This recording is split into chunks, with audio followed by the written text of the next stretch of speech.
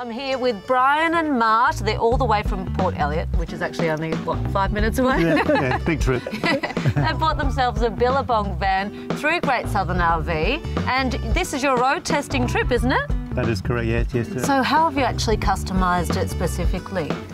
Um, I picked the colours and the uh, leather seating, and um, Brian did the other bits. uh, well, on the front of it, there's the uh, on the drawbar system is is a toolbox come generator box. So the team at Great Southern RV have really looked after they you, haven't have, they? Yes. They have. If you want to know more about this van or any other caravan and camping need, log on to caravanandcampingsa.com.au.